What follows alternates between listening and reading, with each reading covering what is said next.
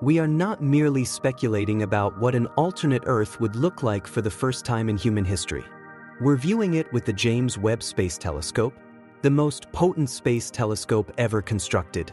The sharpest image of Proxima b, a planet circling Proxima Centauri, the star nearest to our own, has recently been taken by scientists. One of the most discussed exoplanets for a long time is Proxima b, which is only 4.2 light years away. It is almost as big as Earth and is located in the so-called habitable zone, which is where liquid water may theoretically exist. Up until now, it was all numbers, orbital speed, mass, and distance. Today, however, it is an image for the first time. The planet's reflection of sunlight was not the source of the captured light web. It originated from the infrared heat of the planet itself, evidence that the world itself is now in focus. It's an actual place, not simply a hypothesis or a spot on a chart. What can we infer from this picture? Is this our first genuine look at an extraterrestrial world? What more might be out there? This goes beyond science. History is being made. An image of a different Earth. We have witnessed it for the first time in history. I have actually seen it, not just imagined or simulated it. An actual photograph of a planet that is just over four light years away from Earth. The planet Proxima b, which orbits the nearest star to our Sun, has just been seen in its best picture ever by the James Webb Space Telescope. This isn't another picture of space. This is a much larger issue. Astronomers have been searching for planets similar to ours, locations that could support life, for decades. Proxima b has consistently been a formidable contender. It's not far. It orbits in the habitable zone, where temperatures may permit liquid water, and is nearly the same size as Earth. But we just had numbers up until now. Telescope data demonstrating how it dims the light during a flyby or how its gravity pulls on its star. We were unable to view it, but we could speculate as to what it may be like. Then everything was altered by James Webb. The telescope focused on the small signal from the planet next to the star Proxima Centauri by blocking out the star's light with its potent infrared equipment. It collected enough information over a few weeks to create the most precise image of Proxima b to date. It showed us amazing things. A globe that is no longer merely a hazy dot. Signs of the temperature variations were visible. One side is probably constantly in the light, while the other is always in the dark. We could also see that, unlike Venus, the planet is not shrouded in dense clouds. Instead, it has a surface that appears to be rocky, much like Earth, based on the way light reflects off of it. This picture is more than just a scientific triumph. It's a turning point in our understanding of the cosmos. No longer is Proxima b a mystery. It's an actual location. It possesses heat, but shadow, and possibly more. Whether life exists or ever existed is still unknown to us. However, we may now at last glance at that planet and declare, we've seen it, the star who lives next door. Let's zoom out and discuss Proxima Centauri, the star that Proxima b orbits. It is the closest star to our Sun and a member of the Alpha Centauri system, which consists of three stars. Two of those stars are visible to the unaided eye from Earth, but Proxima Centauri is dimmer, colder, and smaller. It is the one with the most intriguing planet, although it is invisible without a telescope. Proxima b orbits its star at a considerably closer distance than Earth does from the Sun. In actuality, it takes only 11.2 Earth days to complete one orbit. However, Proxima b is still within what astronomers refer to as the habitable zone because the star is far colder than the Sun. This indicates that it receives around the same quantity of energy as the Earth. That might theoretically make it possible for there to be water on the surface. Additionally, life may exist wherever there is water. It's not that easy. The red dwarfs are known to be active, and Proxima Centauri is one of them. They emit strong solar flares, which are radiation explosions capable of destroying an entire planet's atmosphere. The radiation that strikes Proxima b is hundreds of times more powerful than that which the Sun emits to Earth. Those flares might remove the planet's shield and render its surface uninhabitable if it lacks a dense atmosphere or a strong magnetic field. Nevertheless, Proxima b has a unique scientific role. We can examine it better than nearly any other exoplanet because of its close proximity, and we get more knowledge with every new observation. We now know that it is not a gas giant but rather a rocky planet. We are aware of its size and separation from the star, and now we even have an idea of what it looks like. Thanks to James Webb, we have the best chance of discovering another Earth. In our cosmic backyard, despite the fact that it is a planet in a challenging neighborhood. And for that reason, Proxima b is so intriguing. Although it's not flawless, it's genuine, it's possible, and it's close. The telescope that enabled it. You need something special to see a planet like Proxima b hidden in its star's dazzling glow. The James Webb Space Telescope can help with that. JWST was launched in 2021 with the goal of seeing things that had never been seen before. In addition to local exoplanets like Proxima b, there are also far-off galaxies and young stars. Its unique perspective on the cosmos is what sets it apart. Webb concentrates on infrared light, which is heat that allows it to see through dust and glare that typically obscure planets from view, in contrast to conventional telescopes that record visible light. Scientists use MRI and NIRCam, two of the most sophisticated instruments available on the Webb, to photograph Proxima b. Not a single picture is taken by these equipment. Rather, over the course of days and weeks, they gather little amounts of light. After then, the group combines all of the data to uncover what was obscured by the noise.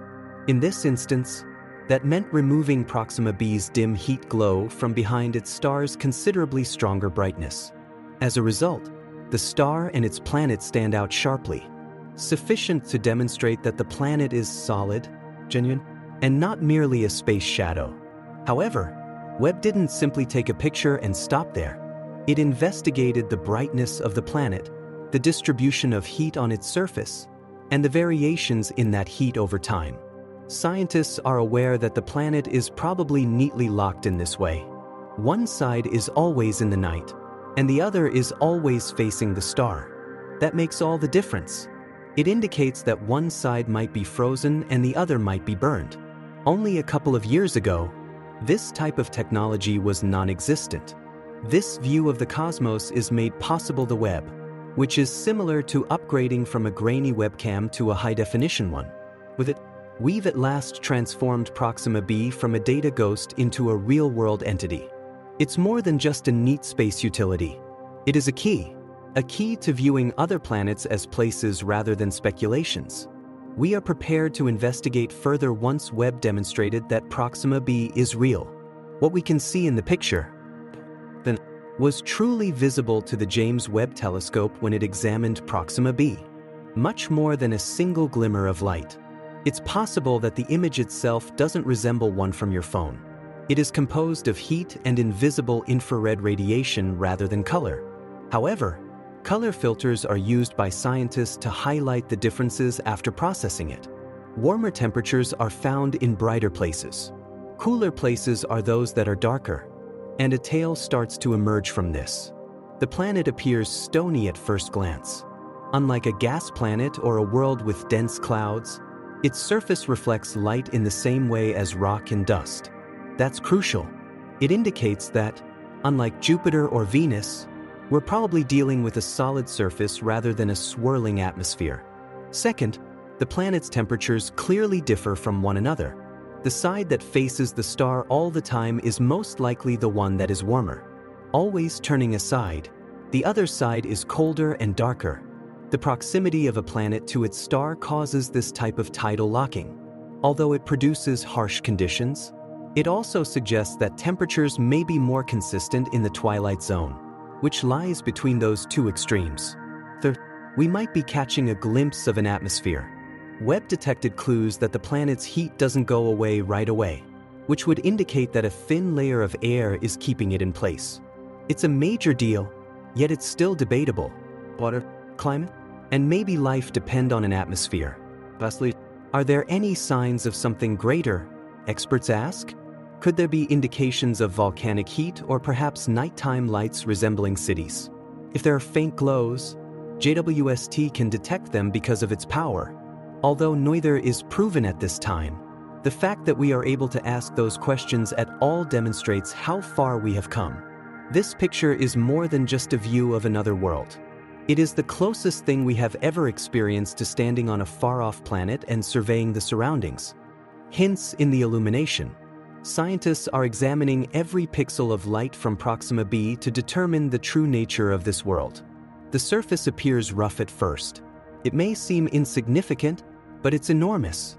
It indicates that this is a planet with a stable surface, perhaps featuring valleys, buns, or even old riverbeds. It isn't a cloud-covered planet like Venus or a gas giant. Second, we can infer information about the planet's texture from its brightness and the way it reflects heat. Unlike ice, it is neither smooth nor glossy. Like dry rock, it absorbs and reflects heat. This lends credence to the theory that Proxima b may have a rocky desert on Earth or a bare solid surface similar to Mars.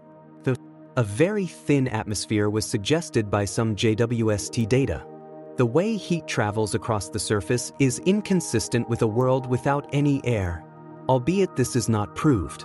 The surface might be shielded from abrupt temperature changes and some warmth could be retained by a light atmosphere.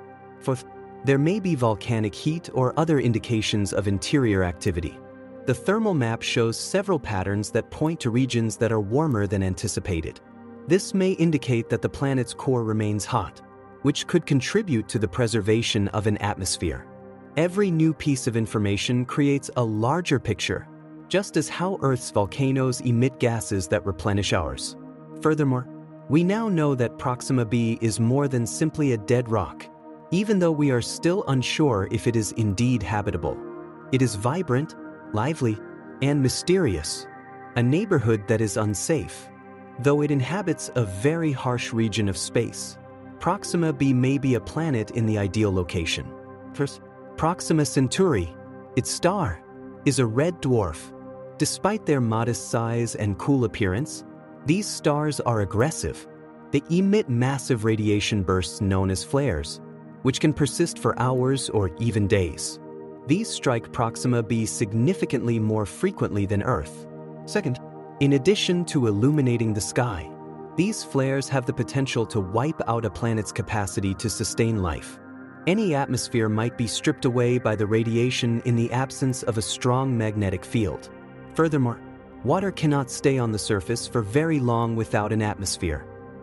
The, atmosphere might only be able to persist in a single, tiny area, the middle zone, where day and night meet, may be safe enough for the existence of liquid water and air because Proxima b is tidally locked. Although it's a thin line, perhaps it's sufficient, for there is optimism in current models. Proxima b may live if it had an ozone layer similar to Earth's. Even on a flare-active planet, ozone can block dangerous UV radiation, which may be sufficient to protect life, at least in limited, stable zones. In the twilight indications of the unseen, Proxima b may be clinging to its habitability while simultaneously being constantly bombarded by its star. The story gets even more thrilling from this point on. What if Proxima b is more than simply heat and rocks? First, JWST has the capability to detect artificial light, such as the glow from orbiting mirrors or cities. We might be able to see it if there was a culture there that used technology to illuminate their night side. According to a second notion, a highly developed species would be able to reflect sunlight from the day side onto the night side by using enormous mirrors. By doing this, more of the world would be habitable and the harsh circumstances would be balanced. It's an absurd notion, but given JWST's sensitivity, detection is not impossible. The Proxima b is now a priority target for future SETI, search for alien intelligence missions, even if we haven't observed anything that appears to be man-made. We would want to listen here first if intelligent life were present. For the fact that we can examine a world beyond our solar system at this level brings up new possibilities. We are able to look for evidence of technology for the first time. It's not only dismal life, our question goes beyond whether Proxima b is still alive. We want to know if there is someone residing there. It was our first real look at a different house. Everything changes when you see Proxima b like this. This is a location, not just a piece of data. First of all, we have never seen a planet this near that might be inhabited, a little more than four light years away. We now know that it is rocky, that its surface experiences temperature variations, and that it may have a thin atmosphere. Secondly, it has become into a test case and a symbol for our search for extraterrestrial life. We can examine other nearby planets, such as those in the TRAPPIST-1 system or orbiting stars like Tidy, if we can clearly study Proxima b. Third, it makes us want to go there someday.